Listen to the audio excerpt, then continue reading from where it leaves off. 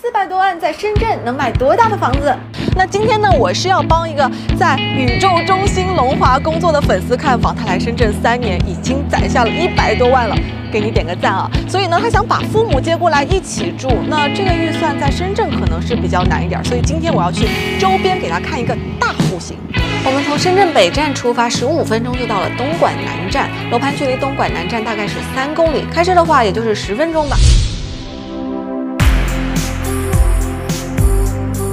我们看到整个小区的建设啊，应该其实就按照深圳十万级的住宅的标准来打造的了。而且呢，这里是塘厦中心湖最后的一块住宅用地了，它的稀缺程度其实就相当于香蜜湖在深圳的位置。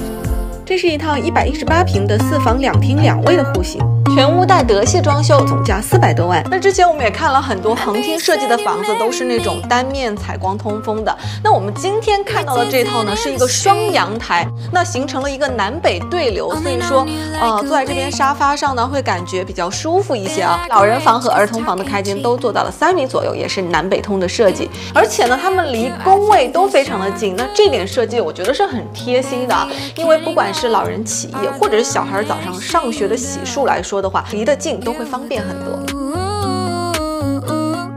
OK，我们来到了主卧的空间。那主卧呢，它是做了一个套间的设计了。这边有一个步入式的衣帽间，里面呢就是卫生间的空间了。那卫生间其实它做的还是挺细心的，非常标准的干湿分区。